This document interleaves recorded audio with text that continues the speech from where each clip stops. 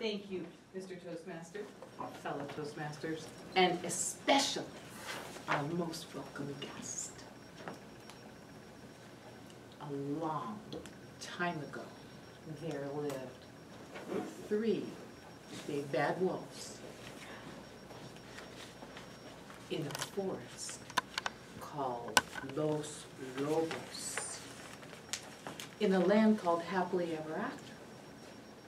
These three bad, big bad wolves, however, were lonely, and they went down to the wolf den to have a little hot wolf toddy, and they talked about what in the world were they going to do to find a sheep wolf, because there weren't any she wolves in their land of happily ever after. So they weren't that happy. So they did what every modern wolf might do. Time five minutes. I know, I know, I, I know, but I'm already done. sorry. No, no, that's Thank fine. you. Oh, I started the watch, but That's okay. So, let me get your attention.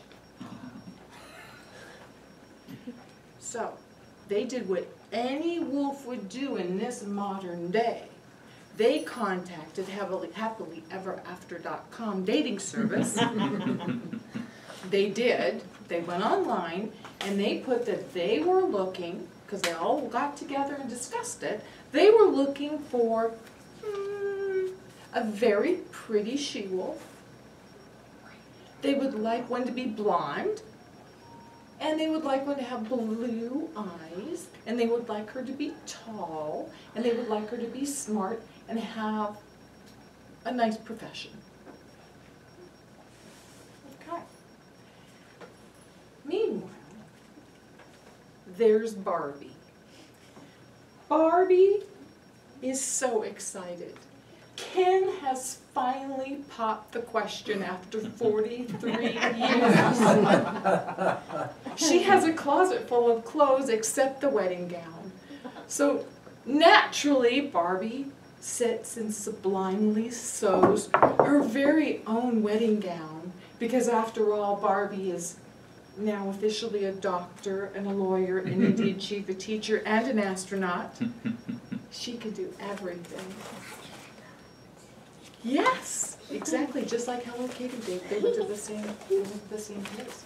They went to the very same place.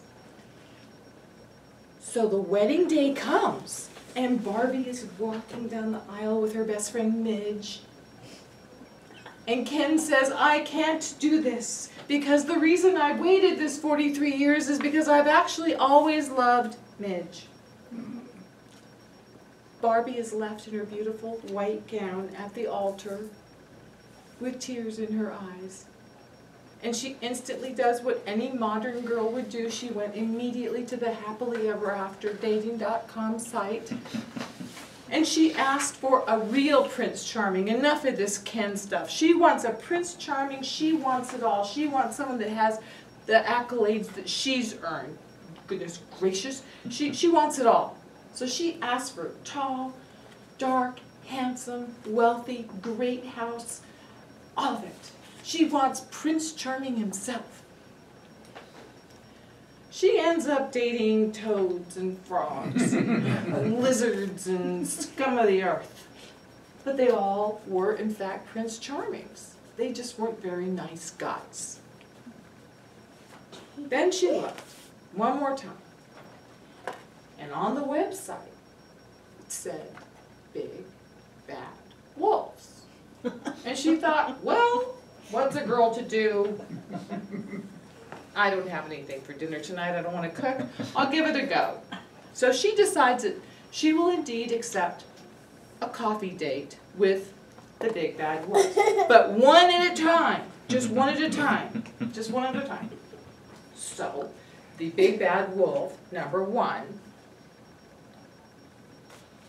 invites her to his home. And she goes to his house and she knocks on the door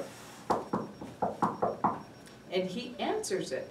And before he gets there, she notices that the house is ecologically very up to date. It appears to be made out of recycled straw. And she thinks that's kind of a good thing. Maybe this is a nice guy. And she opens the door, and well, he is the big bad wolf. So when she gets inside, he invites her in, and he's kind of got a look that she doesn't really care for. And she sees that all of his art are photographs of women. Lots and lots and lots of girls. Pretty girls here, pretty girls there, pretty wolves, pretty this. And he realizes that she's not a wolf at all, because he'd asked for a she-wolf, right? Yes. And she's not a she-wolf. Well, he doesn't seem to be the right kind of man for her either. So, he tries to keep her in his house. And she snuffed. And she sniffed. And she put her foot down. And she just left that house right away and went over to Bachelor Wolf number two's house that appeared that appeared to be made out of another recyclable material. It appeared to be made out of sticks. It was really interesting. It had a stick on the door, a stick over here when she was invited in. Sure enough, all of the furniture, she's sitting in a chair, it's made of sticks. Can you imagine? It was kind of interesting. She liked it. And he brought her in and she looked around the artwork and it was acceptable. It was all very nice. And she started talking about this and that and what she was looking for. And he didn't seem to mind that she wasn't a she-wolf, and he seemed to be okay. And he said, well, there's, a, there's one little thing. I do have a special one woman in my life. Mom? Mom? What do you think? Well, his mother did not approve of her. And she did not approve of the mother. So she snuffed. And she sniffed. And she put her foot down. And she went strolling over to the third bachelor's door. And guess what? He opened the door and it was all Barbie pink. Everywhere she looked. And the big bad wolf turned out to be deep in his heart, really and truly a Prince Charming after all. And they lived happily ever after. The moral of the story is you shouldn't judge a book by its cover or a Barbie either.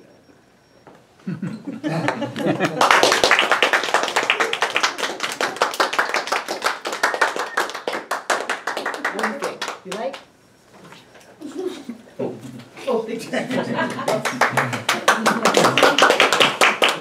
Clearly, yes, it was. How did this speaker capture and hold your interest? The story was called Barbie and Three and the Big Bad Wolves. Uh, It's a takeoff on the original timeless story, the um, the Bigs and the Big Bad Wolves. Is that correct? Mhm. And it was good because I've never heard of uh, Barbie and Three and the Big Bad Wolves ever. It was um, awesome. I mean, uh, sublime. um,